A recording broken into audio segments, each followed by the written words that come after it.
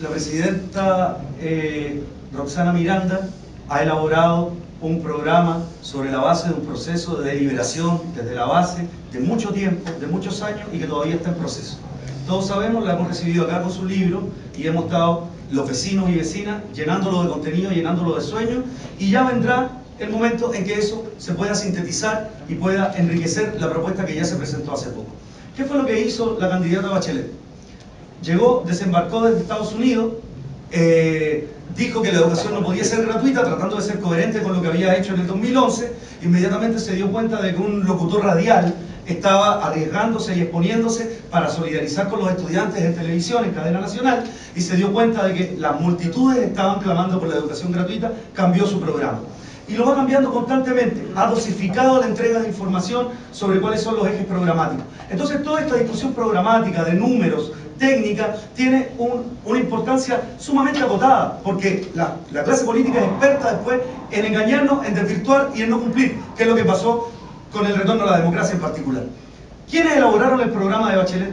Siete personas, cinco personas. ¿Cuáles son los puntos de vista, los enfoques de la sociedad que están ahí presentes o expresados o reflejados? Los de los gremios empresariales, los del conservadurismo de la iglesia, los de la misma clase política, eh, que es una clase política espuria, separada, desvinculada de los conflictos sociales. Nosotros no tenemos nada que ir a buscar ahí. Nosotros donde estamos buscando nuestros contenidos programáticos en la base.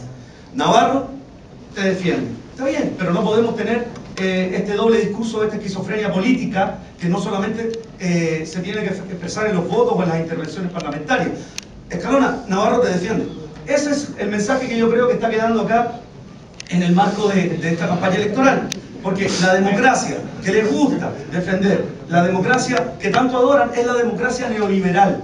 Una democracia que es propia, que centraliza y que además es responsable, por ejemplo, de un proyecto de, estratégico, de una estrategia de desarrollo regional que se dio en el año 2008 y que está vigente hasta el año 2015, que es un acuerdo con los gremios empresariales para justamente liberar recursos del Estado, desviarlo para subsidiar el gasto en logística, infraestructura, el subsidio a la contratación de mano de obra, en la época en que estaba el intendente Toá, que dicho sea de paso fue incapaz de recibir en los, todos los años que estuvo ahí a los deudores habitacionales de Andachila Luchar Democrático, que fuimos uno, dos, diez, quinientos a exigir que nos recibieran.